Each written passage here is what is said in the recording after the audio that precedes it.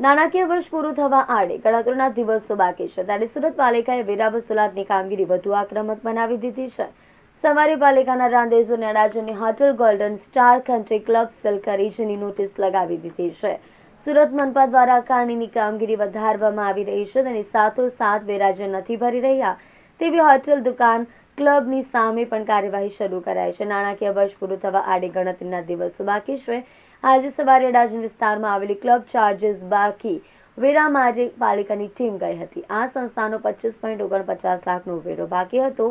તે સ્થળ પર ભરવાનો ઇનકાર કરતા પાલિકાના આકારણી અને વેરા વસૂલાતની ટીમ ક્લબને સલ કરી દીધી હતી. આ ઉપરાંત ક્લબના દરવાજા પર પાલિકાએ ઇમારત જી હેઠળ જપ્તી હેઠળ છે તેવી સૂચના સાથેના બોર્ડ પણ લગાવી દીધા છે. મનપા દ્વારા સેલ મારવાની કામગીરી શરૂ કરવામાં આવતા વેરો નથી ભર્યું તેવા લોકોમાં હવે ફફડાટ ફેલાયો છે.